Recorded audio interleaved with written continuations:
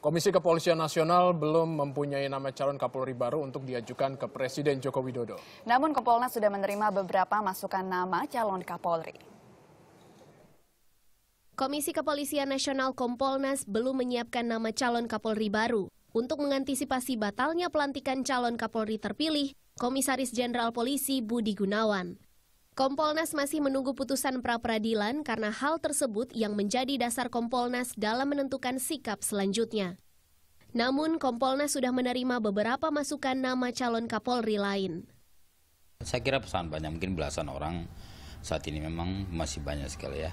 Saya kira ada bintang tiga, bintang tiga itu juga ada saat ini ada 8, ada 8 atau 9 ya, bintang tiga di kepolisian, tetapi memang ada juga yang masa jabatannya uh, tinggal setahun ya.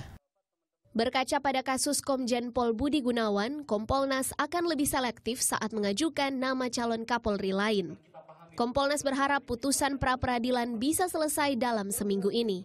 Sementara itu, masukan baik dari internal Polri hingga masyarakat akan diterima Kompolnas.